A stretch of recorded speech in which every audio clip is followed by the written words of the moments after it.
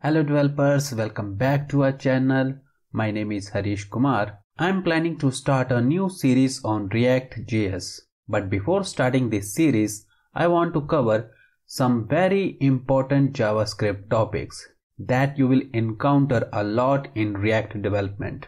So, today in this video, I want to start with arrow functions.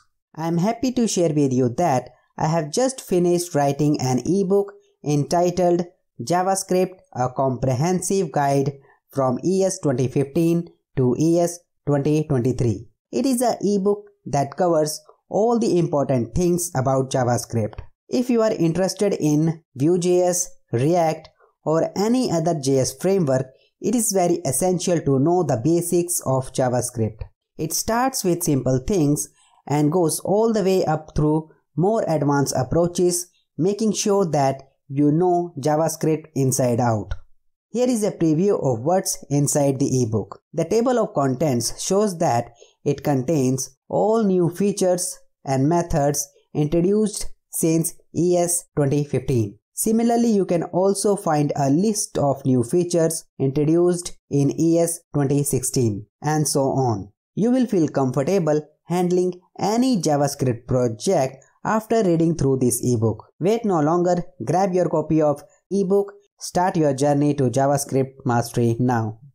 But before we dive in, a quick favor, please hit that like button and subscribe to our channel so you won't miss any upcoming tutorials. Now let's get started.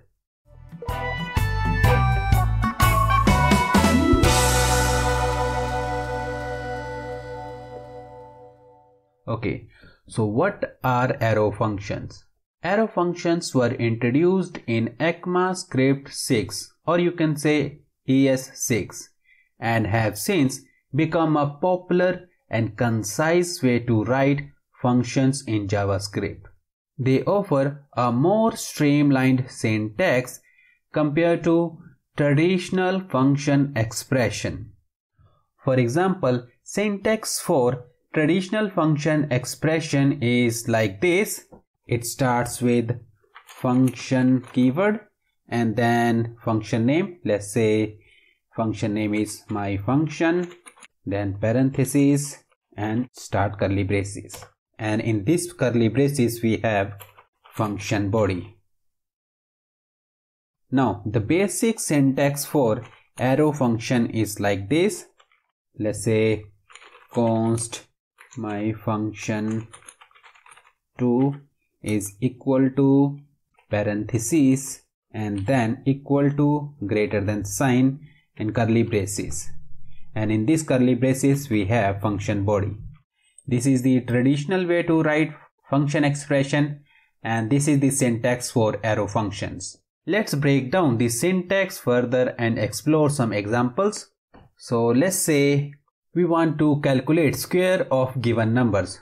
So in traditional function expression, we will write like this. Start with function keyword and function name, let's say square. And then in parentheses, it is going to accept parameter, let's say number. And then let's start curly braces.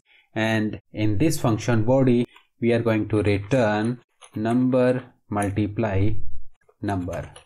Now let's console log square and let's pass any number. Let's say 5 and in the console we can see it has given the result 25 now let's see how we can write this in arrow function. So let's comment this and let's say we have variable const square and square is equal to arrow function. It starts with parentheses equal to greater than sign and start curly braces. Let's say it's going to accept the argument number and then we are going to return this same return expression like this. And it will also give the same result. Let's say any other random number let's say 3 and here we will get number 3 the arrow functions are great for short concise function. If the function body consists of a single expression then you can omit the curly braces and the return keyword. So in this example, we can remove these curly braces and we can also remove this return keyword. and it will be one liner like this it will also give the same result so let's say another value let's say number 6 and here we get the result 36 additionally if function has only one parameter you can also omit the parentheses so in this example it accepts one parameter so let's remove these parentheses and this is also valid. However for the function with no parameters or more than one parameters required using parentheses for example we want a function to add two numbers. So let's comment this and let's create a one more function. Const add is equal to parentheses and it requires two parameters let's say a comma b and then we are going to return a plus b. Next console log add 5 comma 10 now you will see 5 plus 10 is equal to 15 arrow function offers several benefits one of which is their concise syntax making them ideal for short functions basic operations and callbacks they are especially useful for high order functions like array helper methods, dot map, filter, and reduce, making code more elegant and expressive. Let's see one example of it. So let's say we have a array of numbers. So const numbers is equal to and we have array of 1 2 3 4 now let's suppose we want to double each numbers in this array. So let's implement this. So const let's say variable name is double is equal to numbers dot map. In case you do not know about this dot map method i have already created tutorial on this. Make sure to check it out this as well. Now this function accepts callback function. Now here first let's pass the traditional function expression and here this function going to accept parameter number and then we are going to return number multiply by 2 now let's console log doubled and in the console we can see we have result 2468 now let's see how it looks in arrow function. So let's comment this and let's call const doubled is equal to numbers dot map. And now let's pass arrow function. This function going to accept a number. And now we are going to return number multiply by 2 and it will give us the same result. Because it accepts one parameter so we can remove this parentheses also. And it gives the same result. Here it how it looks in traditional function and this is the example of arrow function. One of the key features of arrow function is that it automatically binds the this keyword to current scope. In simpler terms, it helps you avoid some tricky situations where this keyword might not behave the way you expect it to in traditional functions. So let's suppose here we have a class.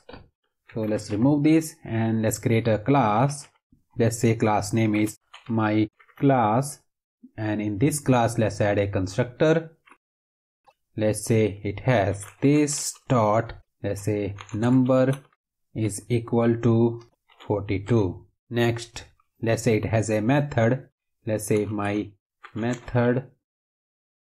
Now let's suppose we want to console log this number after one second. So so let's call set time out now in this set time out, let's pass traditional function expression. So function and here let's console log this dot number like this. Next outside this class, first let's initialize its instance.